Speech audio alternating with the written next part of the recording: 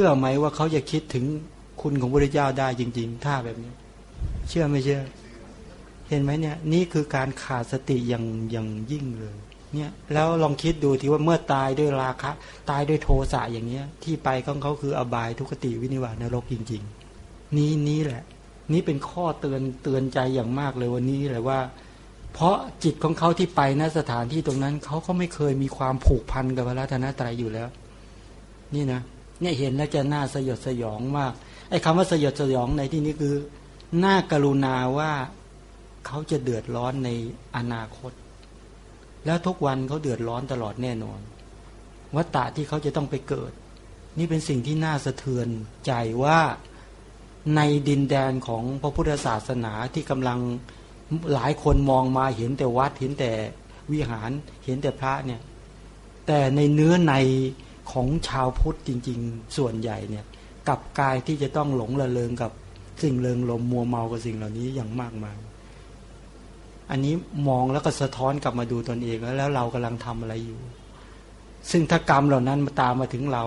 เราจะกลายเป็นคนที่ลืมพระพุทธเจ้าไปในชั่วเวลาลมหายใจจะขาดหรือไม่ อันนี้ก็มาคิดนะ ก็อย่าให้เป็นอย่างนั้นเนี่ยถ้างั้นมันจะเจ็บปวดเองในชีวิตนึงค่ะ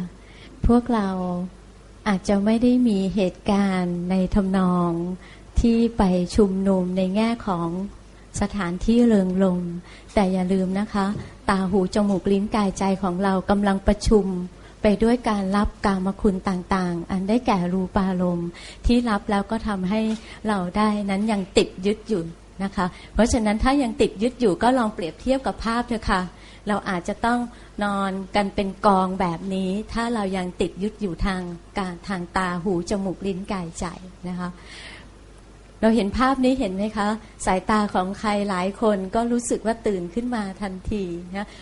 ภาพที่เห็นคงจะจูงจิตพวกเรา ครั้งที่แล้วมีประเด็นนี้ที่มองว่าเรายังไม่สามารถที่จะ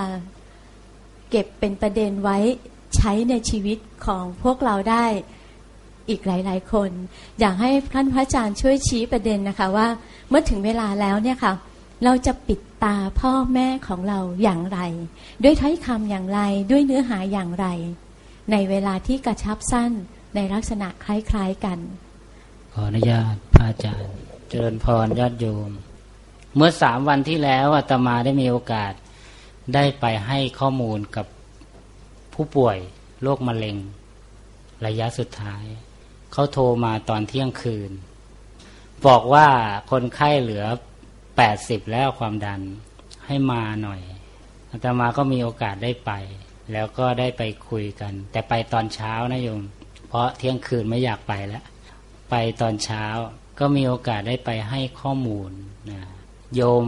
ยายคนนั้นชื่อว่ายายรัดดา ยายรัดดาเนี่ย เป็นคนที่เข้าวัดเป็นประจำ ป่วยเป็นโรคมะเร็งที่หลอดลม เป็นระยะสุดท้ายแล้ว หมอบอกว่าอีกไม่กี่วันนะญาติก็เลยตัดสินใจให้นิมนต์พระ บอกพยาบาลให้นิมนต์พระ ก็เลยไป ก็ไปให้ข้อมูลนะซึ่งคนไข้เนี่ยก็ขยับเนื้อขยับตัวแทบไม่ได้แล้ว แต่ปากขยับได้ ปากขยับได้ ไปถึงก็ไม่พูดพร่ำทำเพลงเลยยัง ยายยังมีความรู้สึกไหมอาตมาเรียกแม่ แม่รัดดายังมีความรู้สึกอยู่ไหมก็บอกว่ามี ยังขยับปากได้อยู่ ก็เลยให้สวดอิติปิโสก่อนเลยก็ปนมมือ ญาติก็ต้องจับมือให้ปนมมือ แล้วก็ขยับปาก อิติปิโสพระควาอรหังสัมมาสัมพุทโธ ว่าได้หมดเลย จนจบ เพราะว่าจบแล้วก็ไอไอขึ้นมา เพราะว่าหมดแรง ไอไม่ไหวแล้ว สวดต่อไม่ได้แล้วอาตมาก็เลยต้องสวดคนเดียวนะเสร็จแล้วหลังจากนั้นก็ให้ข้อมูลต่างๆ ให้นึกถึงว่ายายรัดาเนี่ยโยมแม่รัดาเนี่ยเคยทำบุญที่ไหนมาบ้าง ทราบว่าเคยทำบุญเป็นประจำนะเพราะบ้านอยู่ใกล้วัด ให้นึกถึงการที่ไปวัดทุกวันตัวเองใส่บาตรทุกวันด้วย ใส่บาตรทุกวัน มีกระถินมีผ้าป่าที่ไหนก็ไปก็ทำให้นึกถึงตรงนั้น เสริมให้ยายรัดดาไปอีกว่า ตอนนั้นที่ทำเนี่ยเราได้ถวายแค่พระภิกษุเท่านั้น ให้ยายเพิ่มไปอีกว่าให้พระนั้นเป็นตัวแทนของสงฆ์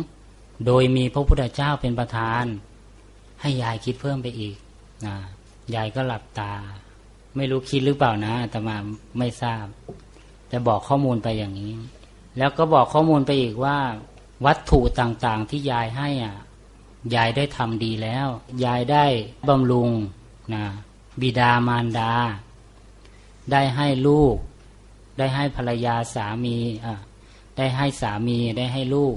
ได้ให้ญาติต่างๆ ได้ให้พระภิกษุสามเณรยายได้ทำไว้ดีแล้ว ยายได้ฝังทรัพย์นั้นไว้ดีแล้วนะซึ่งวัตถุต่างๆเนี่ย ยายอย่าไปเสียดายนะ เพราะว่าวัตถุต่างๆ มันเป็นที่ตั้งแห่งโลภะไง แล้วโลภะมันก็เป็นเหตุนำมาซึ่งซึ่งอะไรโยมทิฏฐิกับมานะนะดังนั้นเมื่อยายสละไปได้ดีแล้วอย่างนี้เนี่ย ชื่อว่ายายกำลังทำอะไรกำลังสละกิเลสไปจากใจ ยายกำลังสละกิเลสไปจากใจนะยายเริ่มมีหน้าตาสดใสขึ้นมาบ้างอาตมาสังเกตแล้วก็เดาเอง เสร็จแล้ว ก็ให้ยายคิดต่อไปว่า ผู้รับของยายเนี่ย ไม่ใช่พระภิกษุรูปเดียวแล้วนะ แต่เป็นหมู่สงฆ์ทั่วจักรวาลเลย โดยมีพระพุทธเจ้าเป็นประธานด้วย ผู้รับของยายบริสุทธิ์แล้ว ยายกำจัดโทสะได้เลย ยายผู้รับของยายบริสุทธิ์นะยายกำจัดโทสะได้ พร้อมทั้งบริวารของโทสะด้วยยายก็กำจัดได้หมด มีอะไรบ้างโยม มีอิสา มัชริยะ และกุกุจจะยายทำลายสองส่วนแล้วนะเนี่ยที่ยายให้ทานไปทุกวันทุกวันเนี่ยให้ข้อมูลยายไป ยายทำลายไปสองส่วนแล้ว ส่วนโลภะและลูกน้องเขา ส่วนโทสะและลูกน้องเขาตมาก็เลยพูดต่อไปอีกว่า ยายรู้ไหม สิ่งที่ยายให้ไปเนี่ย ผลของมันมากมายมหาศาลเลยนะถ้ายายให้ข้าวไปนะผลของมันก็คือ ยายจะได้อายุวันนะสุขาภละปฏิพานให้น้ำไปจะเป็นเครื่องกำจัดความกระหายคือกิเลส ให้ผ้าจะทำให้ยายมีผิวพรรณผ่องใส แล้วยังได้เครื่องประดับคือฮิริโอตปาอีกฮิริโอตปาเป็นเหตุให้ได้ศีลนะโยมนะ ความไม่เดือดร้อนใจ ปราโมทปีติปัสสธิความสุขสมาธิยะถาภูตยานัสสนะแล้วไล่ไป จนถึงวิมุตต์นั่นน่ะ ถ้ายายตอบอาตมาได้นะยายคงบอกว่าอืช่างเป็นบุญหูยายเหลือเกิน ที่มีโอกาสได้ฟังอย่างนี้ ยายรู้เหตุรู้ผล รู้เหตุรู้ผลว่าทำอย่างนี้แล้วจะได้อย่างนี้ ถ้าให้ด้วยศรัทธาถ้าให้ด้วยศรัทธาจะทำให้มีผิวพรรณผ่องใส เป็นที่น่าเลื่อมใสของคนอื่น ถ้าให้ด้วยความเคารพจะมีคนเชื่อฟัง บุตรภรรยาสามี ลูกหลานบริวารเชื่อฟัง ถ้าให้ถูกการถูกเวลาเหมาะสม ก็ทำให้เรามีความบริบูรณ์ทั้งสามวัย ทั้งปฐมวัย มัธิวมัชิมวัย ปัจฉิมวัย ถ้าให้ด้วยเพื่ออนุเคราะห์ให้สละขาดจะทำให้เราสามารถบริหารทรัพย์ที่เรามีอยู่ ได้ในปัจจุบันเนี่ยเราสามารถบริหารได้นะว่าจะเอาไปทำอะไรไปทำบุญที่ไหนไปสร้าง บุญที่ไหนจะทำประโยชน์อย่างไร ถ้าให้ไม่กระทบไม่กระทบตนและผู้อื่น ก็จะทำให้ทรัพย์สินนั้นปลอดภัย ไม่ถูกจลภัย ไม่ถูกไฟไหม้ไม่ถูกน้ำท่วม ไม่ถูกลมพัดไป ไม่ถูกโจรลักไป ไม่ถูกขโมยขโมยไป ไม่ถูกบุตรที่ไม่เป็นที่รักเอาไป ให้ข้อมูลยายไปยายบอกยายบอกโอ้โหไม่เคยฟังที่ไหนมาก่อน แต่จะมาคิดเอา ยายรู้สึกดีขึ้น เพราะรู้เหตุรู้ผลในการให้ที่ผ่านมายายไม่รู้อะ ยายไม่รู้เหตุไม่รู้ผล ยายเลยไม่มีกรรมสกตาสัมมาทิฏฐิแต่วันนี้ยายรู้แล้ว ยายมีปัญญาแล้ว ยายมีปัญญาพร้อมกับทำลายโมหะเลยไหมโยมทำลายโมหะเลย พร้อมกับลูกน้องมันอีก คืออหิริกาโนตปะอุทจจะสรุปแล้วที่ทำมาทั้งหมดเนี่ยยายทำลายอะไรไปบ้างอาตมาไม่กล้าถามกลัวหัวใจวาย ยายตอบไม่ได้แล้ว หมดแรงตั้งแต่สวดจบอิติปิโสอะแต่สรุปแล้วทีนมิทะก็ถูกทำลายด้วยไหมโยมเพราะมันเกิดกับโลภะกับโทสะวิจิกิจฉาเกิดกับโมหะถูกทำลายหมดเลยไหมเนี่ย ถ้าทำถูกนะทำถูกกำจัดกิเลสแน่นอน แล้วที่สำคัญเนี่ยเราจะเกี่ยวข้องกับคนตลอดเวลา เกี่ยวข้องกับสัตว์ตลอดเวลา อยู่คนเดียวยังเกี่ยวข้องไหมโยม ยังเกี่ยวอยู่อยู่นั่นแหละ ถ้าเราบูชาพระพุทธเจ้าก็ยังเกี่ยวกับพระพุทธเจ้านะเราเกี่ยวข้องหมดเลยดังนั้น เดินทานได้ตลอดเลยไหมบูชาได้ตลอดเลยไหมแล้วถ้าวันสุดท้ายมาถึงหรือเกิดเหตุการณ์อะไรต่างๆ จะนึกไม่ได้เชียวเหรอขนาดยายยังนึกได้เลย ยายไม่มีข้อมูลเลยนะ ยังนึกได้ แล้วเรามีข้อมูลโยม เราเรามีข้อมูลนะดังนั้นไม่น่าเป็นห่วงแล้วนะโยมเนาะ มีคำถามที่เกี่ยวเนื่องกับเมื่อสักครู่พอดี นักศึกษาถามว่าแล้วถ้าพ่อแม่สมองฝ่อจะทำอย่างไร และถ้าพ่อแม่ไม่เคยฟังธรรมพ่อแม่จะลำคาญไหม และทำอย่างไรเจ้าค่ะ กราบนิมนต์พระคุณเจ้าเจ้าค่ะ จะทำยังไง ข้อมูลยังคงเข้าไม่ได้ เพราะสมองฝ่อแล้วนะคะ แล้วถ้าพ่อแม่ไม่เคยฟังธรรมเลย จะทำยังไง ท่านจะรู้สึกลำคาญไหมเจ้าค่ะ ส่วนใหญ่เราที่เราเรียนกันคือสภาวธรรมเนาะที่เรียนอภิธรรมเนี่ย เราเรียนสภาวธรรม เรียนปรมัตถธรรมปปรมัตถธรรมเราก็เรียนทั้งกายวิญญาตวจีวิญญาตด้วย ดังนั้นถ้าเกิดสมองฝ่อแล้วเนี่ย พูดเริ่มไม่รู้เรื่องแล้วนะคุยกันไม่รู้เรื่องแล้ว หลวงปู่ชาจะยกตัวอย่างเนาะหลวงปู่ชาเนี่ยพูดภาษาอังกฤษไม่ได้เลยนะโยมนะ แต่ท่านทำไมมีลูกศิษย์เป็นคนต่างประเทศ ท่านก็ใช้วิธีปฏิบัติให้ปฏิบัติตามนะถ้าเกิดแม่หรือพ่อของเรารับรู้ในการฟังไม่ได้แล้วเราก็ใช้วิธีปฏิบัติใช้ท่านท่าทำทาไม่งเป็นนะคะหืมพอดีกำลังอนุมานถึงคุณพ่อคุณแม่ที่จากไปแล้วนะคะคงก็จะเป็นลักษณะเดียวกัน ท่านทำไม่เป็นน่ะ ก็ให้ให้ท่านดูนะ ให้ท่านดูการกระทำของเรา ท่านน้อมนึกได้เนี่ยอย่างเช่นในสมัยก่อนเนี่ย มัทกุลทลีเนี่ย พ่อเป็นมหาเศรษฐีนะ แต่ไม่มีโอกาสให้ลูกได้เรียนหนังสือเลย ไม่ให้ลูกเรียนหนังสือนะมัทกุลทลีโชคดีมีโอกาสได้เห็นพระพุทธเจ้า ก็น้อมใจกายกับวาจาไม่ไหวแล้ว แต่น้อมใจเลื่อมใสในพระพุทธเจ้านะลมหายใจหมดไปบังเกิดเป็นเทพบุตร เพราะความเลื่อมใสนั้น นะเนี่ยแค่มีใจเลื่อมใสเท่านั้นแหละโยม แค่นี้ก็ปิดอบายได้ขออนุญาตถามเป็นคำถามต่อเนื่องค่ะ สมมุติว่าบุพการีของเราเนี่ยท่านไม่รู้จักพระพุทธเจ้า นับถือแต่ขออภัยนะคะรูปปั้นบางประการบางชนิดอย่างเงี้ยค่ะ เวลาที่ท่านจะทำกุศล ท่านก็จะคิดว่า เอิ่มเอาไปของไปวางไว้แล้วเหลือก็ได้กลับมากินอย่างเงี้ยค่ะ แล้วเราจะช่วยท่านยังไงในวาระอย่างนั้นคะเพราะว่า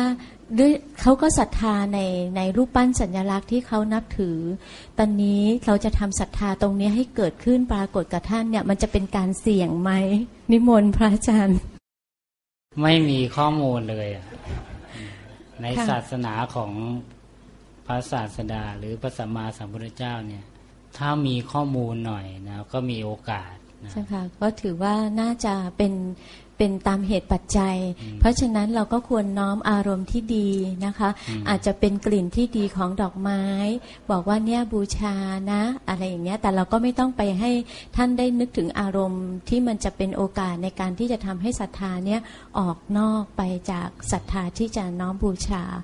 พระรัตนตรัยคงต้องใช้ปัญญาของเราเองนะคะ ในการที่จะช่วยท่าน ก็อาจคืจะอเป็นให้ให้ท่านได้มีโอกาสได้ได้บูชา ได้เคารพพระพุทธเจ้าบ้างค่ะแม้แต่จะไม่มีข้อมูลก็ตาม หรือไม่เคยศรัทธาก็ตามเนี่ย เราก็ให้ข้อมูลในตอนนั้นแหละ สุดครับแล้วแต่ว่าท่านจะเชื่อหรือไม่เชื่อ นั่นเป็นก็เป็นเป็นเหตุของท่านแล้วแต่เราได้ทำหน้าที่ของเราแล้วใช่นะค่ะก็ให้ทำใจเนาะ ถ้าเกิดเพราะฉะนั้นจะได้ผลอย่างไรเนี่ย เราก็อย่าไปเสียใจนะค่ะแต่เราได้ทำหน้าที่ของลูกแล้ว สรุปตรงนี้นิดนึงนะเพิ่มเติมนิดหน่อยสองประเด็นก็คือประเด็นสมองฟอกับสมกับประเด็นเกี่ยวกับเรื่องเมื่อสักครู่เนี่ยเอ่อสมองฟอนี่เป็นเป็นโรคที่ถ้าฟอจนมากแล้วจะจำอะไรไม่ได้จริง ๆ เพราะสมองพอเริ่มฟอลงฟอลงนะเข้าก็จะจำชื่อตัวเองไม่ได้นะตรงนี้ เมื่อจำชื่อตัวเองไม่ได้เนี่ยการการที่จะสอนทางสื่อต่างๆ ก็จะเริ่มปิดโอกาส ถามว่าสภาพที่สมองฝ่อเนี่ยเป็นด้วยอำนาจของอกุศลกรรมนะอกุศลกรรมที่เข้าไปเบียดเบียน ฉะนั้นช่วงนี้ถ้าใครรู้ว่าปู่ตายายยายแม้แต่ตัวเองเนี่ยเริ่มมีสภาพแห่งการหลงลืมมากขึ้นแล้ว ตรงนี้ต้องรีบเนี่ยต้องรีบแล้วหนึ่งแก้ไขด้วยการทั้งยาทั้งอะไรช่วยส่วนหนึ่ง อีกส่วนหนึ่งก็คือต้อง ตัดเรื่องข้างนอกออกให้ทัน เพราะนั้นบ่งบอกว่าเวลาจวนเจียนแล้วใกล้ชิดอย่างถึงที่สุดแล้ว ถ้าลูกหลานที่อยู่ใกล้ชิดก็ต้องพยายามให้ข้อมูลให้มาก เพราะที่สุดจริงๆอะถ้าท่านได้เจริญกุศล ได้อย่างต่อเนื่องกุศล ถ้ามีกำลังพอจะเป็นทิฏฐธรรมเวทนียกรรม อุดหนุน อุดหนุน รูปนามที่เกิดจากชนกกรรมในอดีตเนี่ย พอจะให้ สามารถที่จะอาจจะอยู่ได้ยืดหรือยืนยาวขึ้นในสภาพที่ความระลึกได้ทั้งหลายเหล่านี้ตรงนี้ก็ต้องแก้ไขนั้นจุดนั้น นอกจากอุบายวิธีที่ท่านยันมหานาท่านให้ข้อมูลไว้ อันนี้เสริมตรงนั้นหน่อย ส่วนในกรณีที่บุคคลไปนับถือสิ่งอื่น ซึ่งไม่ใช่พระรัตนตรัย แต่เป็นคนดีอย่าให้ขับเน้นที่ตัวอารมณ์ แต่ให้ขัดเน้นตัวความดี เพราะความดีนั้นเป็นกุศล ให้ท่านนึกถึงความดีตรงนั้น แต่อย่าไปนึกถึงนิมิตของความดีที่ท่านเห็น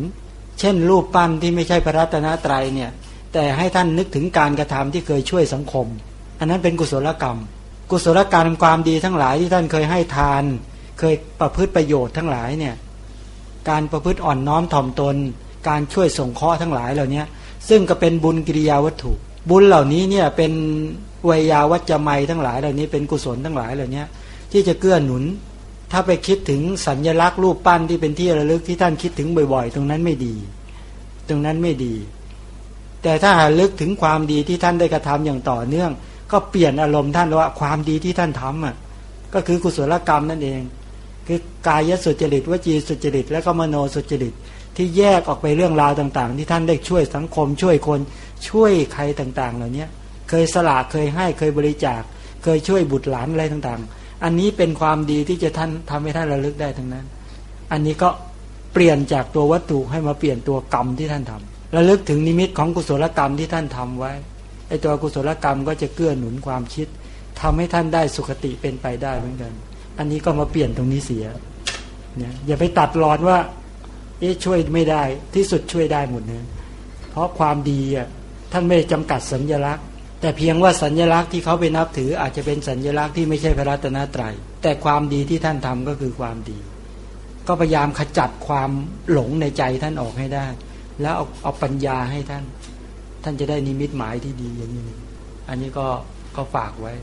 จะได้เอาไปบอกได้นะอยากจะกราบเรียนถามในแง่มุมของการปฏิบัติธรรมค่ะ เพื่อที่จะเตรียมตัวไป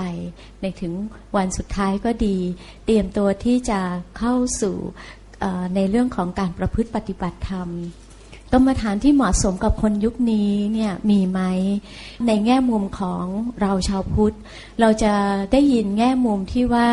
การปฏิบัติมีแบบนี้แบบนี้แบบนี้ เมื่อเราไปใน